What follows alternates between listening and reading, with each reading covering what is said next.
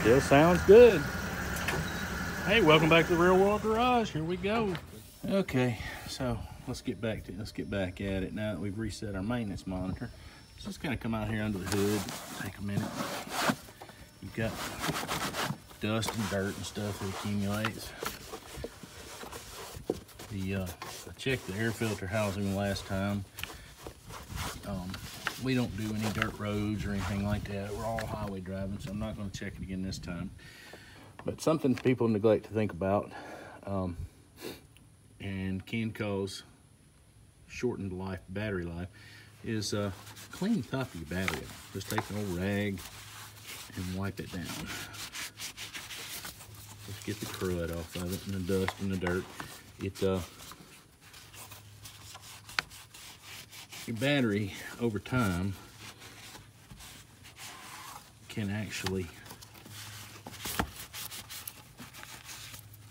with uh, oil and dirt build up on top of the battery will short because you actually gain a low draw between the two poles on the battery and shorten the life of the battery.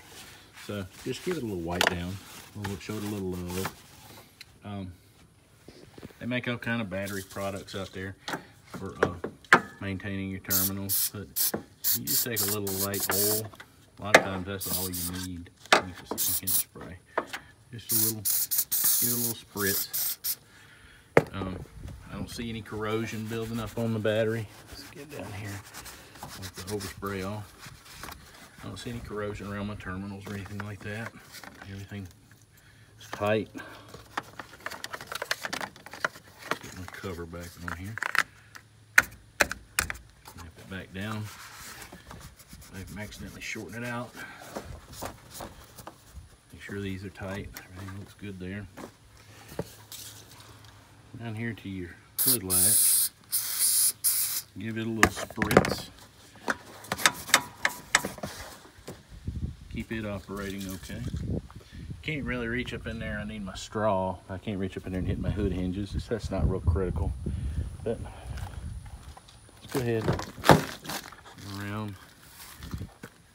You want to take give your door latches a little spritz. Wipe off any excess. If your wife doesn't get oil on her Sunday clothes, she would not be a happy camper. You've got your door checked. Give it a little shot. Little hinges. Give them a little shot.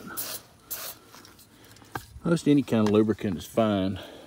Just want to get a little bit of little spritz up in there because I see rainwater and you folks travel up in the northern counties, counties, northern northern part of the country. You can actually get to the uh, rear door hinges pretty easy by just opening the front door and shooting back. Gather up any overspray. Alright, get this door open. Give a little, give her a little shot. A little spritz. Take a look, make sure get some on the door check. Hit the front side of these hinges.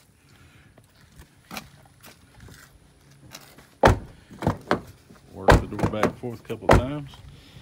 All right, reach in here. Let's do the do the trunk.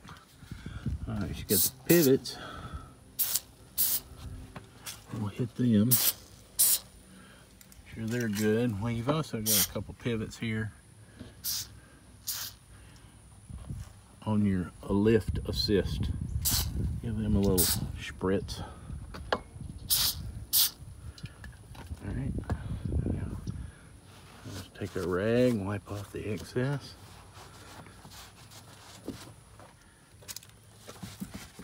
All right, let's see if we can get out here to the latch.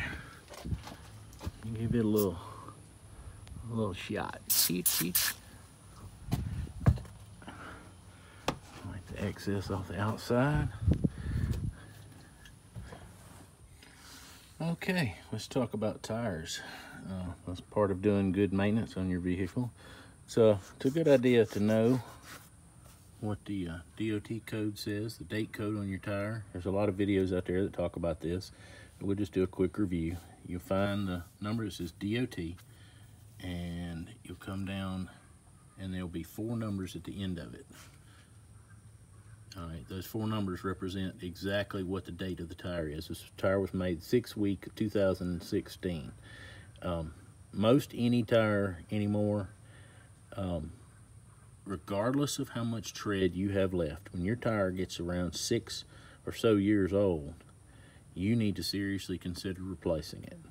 Um, if you're just putting around town, you don't drive it out on the interstate, mm, you might be able to go seven, eight years, as long as your tread depth okay. But for the most part, when your tire gets around six years old, you need to really seriously be looking at getting another set of tires. And I know you're going to say, well, the tread depth is it's really good. The tires are in really good looking condition.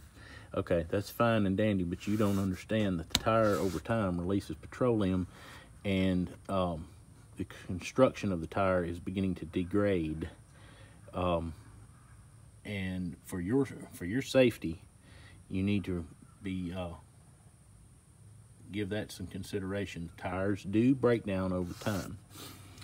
All right, another most important thing to keep in mind when you're with your tires is um, keep a tire pressure gauge in the in the door pocket of your vehicle.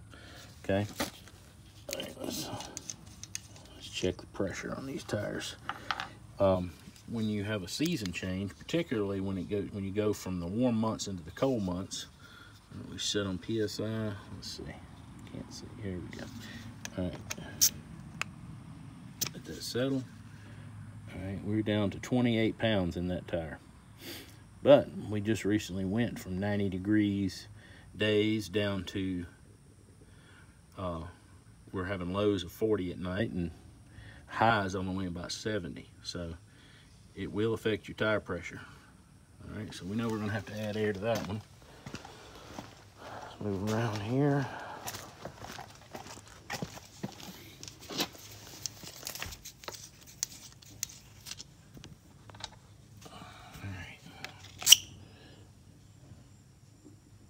All right, that one's at 31.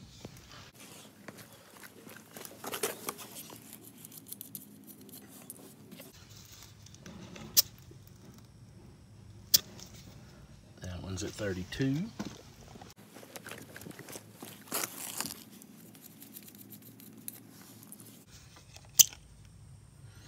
And that one's at 31. Okay, so we're gonna have to see about adding a little air to these tires. Um, so you're not sure what your tire pressures are supposed to be. I can't remember what year they started doing this, but almost all vehicles have their tire pressures right here in the door jamb. A lot of older vehicles, they were it was right on the uh, glove box door. Uh, as you can see, front tires are 33 PSI and rear tires are 33 PSI and your spare tire is 60 PSI. So, actually take the time to go check that spare tire. You don't know how many times I've seen people on the side of the road trying to change their tire and they're unable to because the spare's flat. So we'll pause here and I'll go ahead and pull this out and we'll check it. Okay, it only took them a couple minutes to pull the tire out. Um, this tire, as you can see, is brand new. It has probably never been on the ground and was probably put, installed here at the factory and has never been checked. I would lay, I would bet money it has never been checked since it was installed in the vehicle. All right, so let's turn pressure gauge on. And let's see how much air pressure she's got. Would you look at that? This tire is rated for 60 PSI and it is sitting at 28 PSI. See, that goes to show you that I haven't checked this tire either. So, shame on me. We're gonna break out our portable air pump and uh, we'll get it topped back off. Get it what to what it's supposed to be back over here where it's not so noisy. That's a uh, Stanley Fat Max. It is an auxiliary power air compressor and digital digital air compressor. Work light and jump pack. I bought I guess, last Christmas. Paid like fifty dollars for it. Got it Sam's. Uh, it's been pretty handy to have on board. I mostly used it for the air compressor. But you set the uh, air compressor digitally and turn it on and it runs off of the internal battery. So, and it will shut itself off when it reaches the right pressure. There we go. For a little lid back down. Also, while our tire is finishing filling up, I went ahead and wiped down some of the other covers and some of the other components. Just be careful around your electronics that you don't uh, break a, a sensor or knock something unplugged accidentally. And there we go, our air compressor. It gets close reaching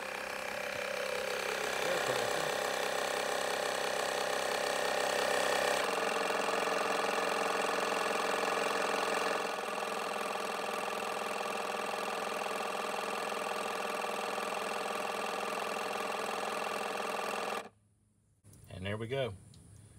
Achieve 60 pounds, it shuts itself down.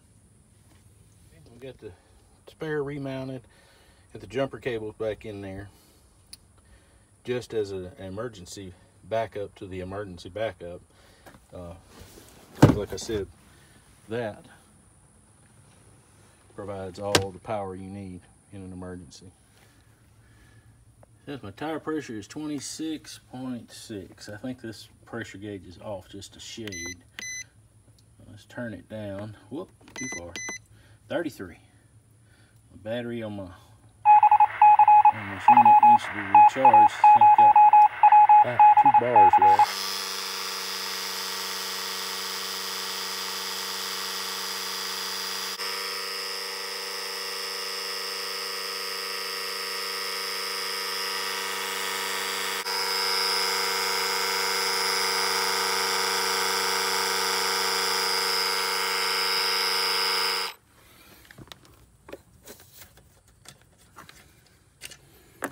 All right, let's see what my portable digital gauge says. Oh, 33 psi. Right on the money. Don't forget to reinstall your valve stem caps. One tire to go.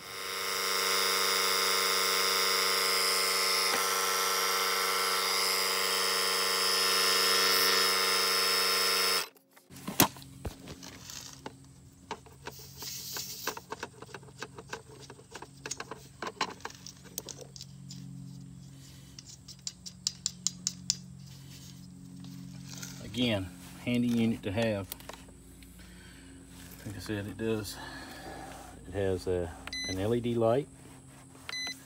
It's got four USB charge ports. It's got the compressor. It's got turn the battery. A battery status light. It tells you that the battery in this unit has got 12.5 volts remaining once you when you have this unit hooked up to your vehicle if you've jump started it it will tell you it will give you an alternator status and tell you if your alternator is charging or not charging. Um, it's been a handy little unit. It's good to have in the back of your vehicle. It has a, a 120 volt outlet right there.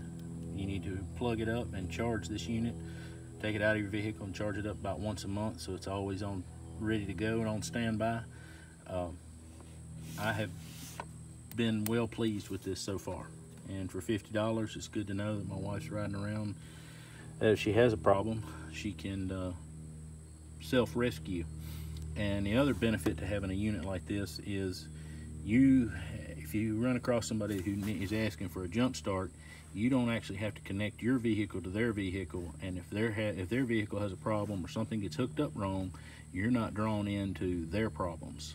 Um, you can hook this up and if their vehicle starts great and if it doesn't well um, you know, they need to call a tow truck. But you want, like I said, you don't have to worry about compromising your vehicle to get their vehicle started. Okay, I brought the unit on over and hooked it up to uh, my extension cord and leave it in the garage overnight and uh, just let charge. You can see that it gives you a charge status and a uh, voltage display while the unit is charging. When it achieves its max capacity, it has automatic feature shuts off the charging so you won't have to worry about overcharging it. Uh, just have to remember to put the unit back in your vehicle. Well guys, that's just another day in the real world garage. I hope this isn't too too mundane, uh, but uh, there's a lot of people that like to uh, know how to maintenance their vehicles. They're just getting into it, and uh, it's just a basic overview and, uh, and a few things to do to keep your vehicle going um, and operating smoothly as it should. Uh, so with that, we'll close out. We'll catch you next time. Thanks for coming to the Real World Garage.